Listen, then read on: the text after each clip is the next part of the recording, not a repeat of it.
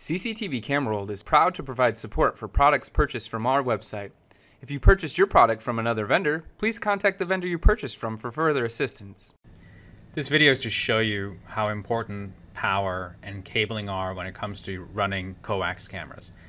I'm logged into a camera system where we have two channels that are no longer producing video and one that is.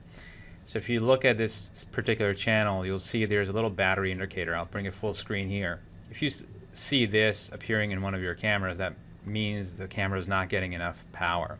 Could be a number of reasons. Could be the power supply, the amperage, how far you're running cable, the quality of your cable, how you have your connectors crimped, uh, or if you're using one power supply to provide power to your DVR and to your cameras. There's a lot of different aspects of it, and for that, you have to refer to our support department if you've actually purchased from us. Our support department will help you determine what the root cause is it's all installation specific. Now, what I'm going to show you here in this camera is at nighttime, you see this battery indicator appearing. It's here when I'm in a four camera view. And I'm going to fast forward the video from, this is around 5 a.m. at night. Notice channel 4 is producing no video at all. It's blank, it's dark. The reason for that being is it's not getting adequate power at all to turn on even like this is so that it can its image sensor can turn on while its IRs are on. So the image sensor on this camera has decided to not turn on. It maybe the IRs are on on it. To be able to see that, you have to actually walk up to the camera at nighttime and look at it and see are the IRs glowing red. If that's the case, and they are glowing red, that means the camera's sensor has just decided to, or it's not getting adequate power and has decided to not come on. But when I fast forward this to uh, about 6, let's say 6:49 a.m and you'll see here it's daytime the sun is rising and this camera and also here the battery icon disappeared or that's just telling you there's not enough voltage or amperage getting there. So this camera's icon disappeared. It's getting adequate power. Why? Because at nighttime IRs consume more power that's why I was telling you there's low power, and at daytime the IRs turn off, and it's no longer telling you that because the power is adequate for it to function during the day without needing um, the IRs on. On here, this channel, the camera turned on when there was adequate light from the sun rising, just enough so that it triggered the photosensor on the camera to switch from night mode to day mode, and now the IRs are off and the sensor is back on and it's producing an image that's the reason why this is working. So if you have cameras that are cycling where they turn off at nighttime and they turn on in daytime for any coax camera, uh, even for IP, let's say, then it's an issue with power. Again, like I said, there's several factors associated with power delivery.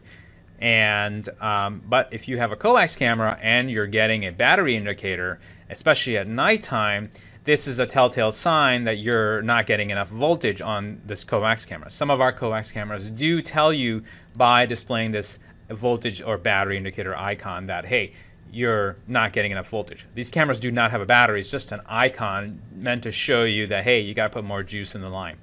Now, of course, these are 12 volt DC cameras. You've got to make sure you provide the correct amount of voltage. You don't provide over voltage, you'll fry the camera. Under voltage, the camera will just not turn on, which is in this case here. Now, notice, again, uh, to, drill home the point, adequate power makes that indicator go away. And adequate power brings this camera back on. Now, this channel stays black. It, it was behaving like this camera here where it would turn off at nighttime and turn on in daytime, but now it's not turning on at all. It could be the power supply on that camera is no longer producing any power and it's fried. So these are things that one has to troubleshoot and figure out based on how they've installed it, the kind of cabling they're using, the power supplies they're using, how they have the power supplies connected to multiple cameras. Hopefully this provides you some insight into how to manage your coax security camera system. Again, this was a 12 volt coax BNC Siamese system. So now you've, you've determined the issue that you have.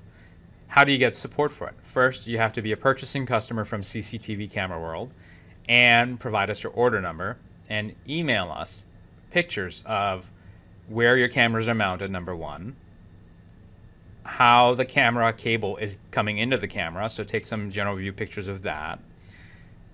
Um, third, how you have your power supplies connected indoors to the camera and the DVR, so take some general overview pictures of that. it gives us an idea as if we were an installer coming back to troubleshoot a location to see what was done and how the wiring was run to the cameras, number one. So these are only some of the things. The other uh, fourth is provide a picture of the label and the power supply you're using to make sure that it's the correct voltage and amperage. And these are just a few things we would need at a minimum to start the conversation to investigate why you're having these sort of issues. Obviously, the golden test to see if a camera is defective or non-operational and if it's to, if it's your cabling that's the issue, you take the camera, you dismount it, like for example, like this one, you dismount it from where it's uh, located, you bring it inside, use a 12 volt 1 amp adapter, that's what this camera needs. Plug it straight into the camera's pigtail and take a short BNC cable, like a three footer. We have three foot testing cable. We sell them as a, you know, just for that reason. And then you basically plug it into your DVR, put it in a dark room, you turn the light on, camera's photo sensor basically says there's light, the IR's turn off, you turn the light off.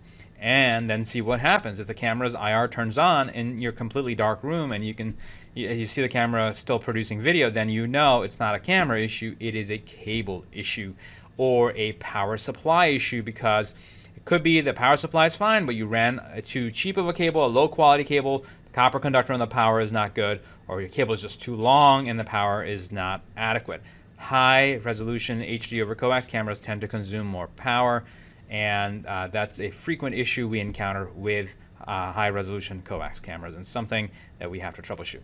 Hopefully, that gives you some insight in how to address this problem and how to get help from us. Thanks for watching. If you're watching on YouTube, don't forget to like, comment, and subscribe.